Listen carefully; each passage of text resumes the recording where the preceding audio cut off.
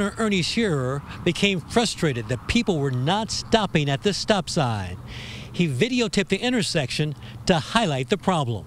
Shearer attached his cell phone camera to the headrest in his car as it sat in his driveway yesterday evening. In a 17 minute span, 44 cars passed through the intersection. Nine stopped, 13 came to a rolling stop, and 22 flat out ran the stop sign. It's a pattern. From about 5 o'clock to about 7 o'clock, this neighborhood's got kids in the street riding bicycles, playing ball, running across the street to each other's homes. Uh, it's gotten so bad we can't like, like, let our grandkids play out here in front.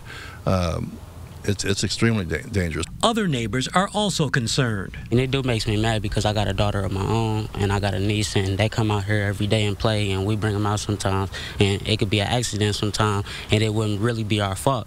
It'd be the drivers at fault, but they're not paying attention to everybody and what's going on around them. Shearer sent a series of emails to police and they did send motorcycle officers three times to monitor the intersection over the course of three months. On one email, Shearer wrote, Just how many times do you require someone to beg before being taken seriously? He also enlisted a city county councilwoman for help. I plan on talking to traffic today to see if maybe we can possibly get some some motorcycle um, police out here to, to take care of this. Um, they have been out in the past, but not enough to um, satisfy Ernie. Response was swift today. We started working on the story at 10:15 a.m. We witnessed at least three cars blow through the stop sign ourselves, and by noon, motorcycle police officers were on the scene issuing citations. The officers told us the violations were blatant.